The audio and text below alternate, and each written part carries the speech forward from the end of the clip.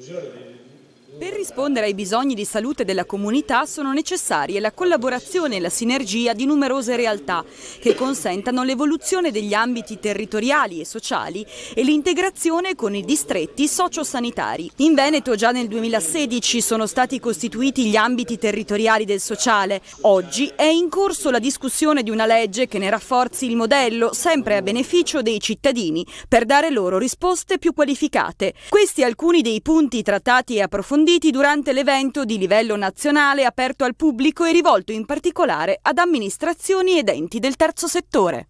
Mai un bisogno è solamente sanitario, solamente sociale. A un disagio sociale, a una necessità, a una fragilità sociale si accompagna sempre un bisogno sanitario e viceversa. Per cui il tema della integrazione sociosanitaria e come realizzarla, specie in un in una regione come il Veneto che ha una lunga tradizione in questo senso è un tema di estreme grande attualità. Verona come si comporterà? Beh, Verona è il comune più grosso della, del nostro, della nostra provincia, chiaramente il comune capofila. In questo momento anche, eh, abbiamo la presidenza di turno della conferenza dei sindaci di tutti i sindaci della provincia di Verona. In questo momento stiamo appunto aspettando la normativa, stiamo aspettando anche una riscrittura dei distretti sanitari, probabilmente che ci permetterà di avere un ambito territoriale e sociale in più rispetto a quelli che attualmente sono previsti dalla norma.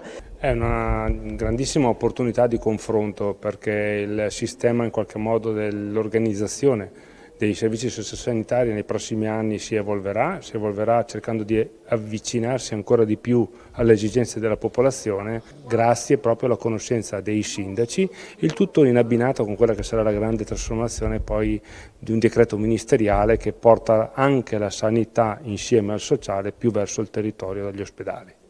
Una difficile sfida che è necessario vincere per dare risposte sempre più efficaci ai cittadini.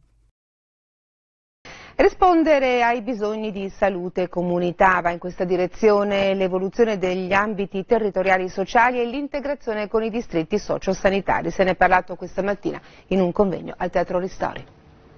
Il Veneto ha già una grande tradizione nell'ambito sociosanitario. Lo Stato ora sta definendo con le regioni quali sono i livelli essenziali delle prestazioni sociali, i cosiddetti LEPS. Per la loro erogazione si stanno creando delle aggregazioni dei comuni che coincideranno con i distretti sociosanitari, avranno una forma giuridica, un'autonomia e regoleranno i loro rapporti per fornire le prestazioni ai cittadini insieme alle aziende sociosanitarie. Questo permetterà di avere finanziamenti anche in ambito comunitario, faciliteranno insomma la vita ai comuni e soprattutto ai pazienti che dovranno usufruire dei servizi. Quindi questo porta a un miglioramento, a un rafforzamento a una standardizzazione, cioè a una uniformità di erogazione dei servizi in tutto il territorio del Veneto, in un processo che vede come attori protagonisti i sindaci, gli enti locali che sono i titolari delle funzioni sociali, in una stretta sinergia con i direttori generali delle aziende e sotto la cabina di regia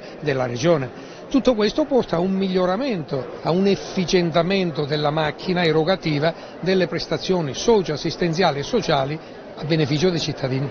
Un processo che troverà il giusto compimento entro un paio d'anni. Diciamo che nel Veneto la coincidenza di quelli che sono le, i comitati dei sindaci, le conferenze dei sindaci che già sono molto abituati anche in provincia di Verona a lavorare insieme renderanno comunque tutto quanto più semplice. Poi è chiaro che ci saranno dei passaggi normativi che dovranno essere comunque fatti e quindi si impiegherà un po' di tempo.